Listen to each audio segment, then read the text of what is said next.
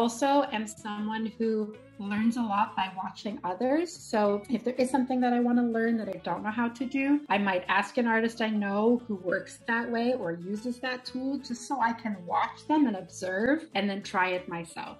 Can you tell us about yourself?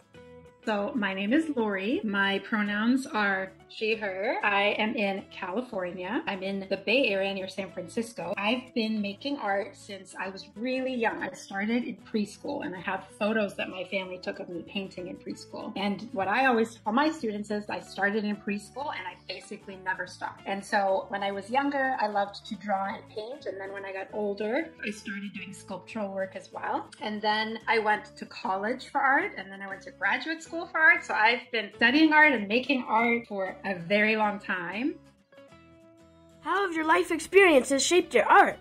So I grew up in another country. I didn't grow up in the US. I was born in South Africa, which is all the way at the bottom of the continent of Africa. So when I moved to this country, I had a different accent and my clothes were different. A lot of things were different. And all I wanted to do was fit in. So I watched a lot of TV, American TV, and practiced speaking the same way Americans do so I could get rid of my accent. And so all these little things about feeling different and feeling like sort of like I was outside of things really informed a lot of my work. And so a lot of my earlier work was about this character that I created that looked like an alien, just someone from somewhere else, somewhere very far away. And then the other thing that really informed my work was my, my love of color and light. And I have always been really excited about being able to use watercolor to create these huge areas of bright and vibrant colors that sometimes the colors leak into one another, or we would say bleed into one another and I know a lot of times when I'm teaching, my students are very upset if that happens with their watercolor.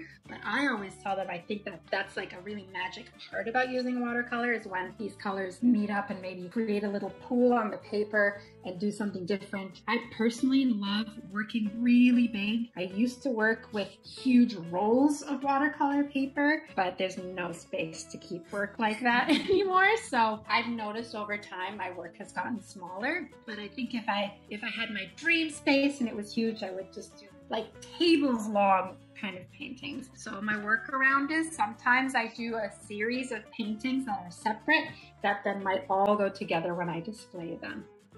What's your creative process like? I would say that almost all the time, everything I create is from play. It's very, very rare that I plan something out. I might sketch if things aren't working out the way I imagined them in my head, although I will say most of the time what I imagine in my head is not how my work turns out, which is totally fine. One thing I do notice is I will sometimes create something and that's what I call my first version. And oftentimes I don't like my first version, so I'll put it aside and then I'll do it again and I'll do it a little differently differently and then I get it more to how I want it to be. How do you deal with frustrations?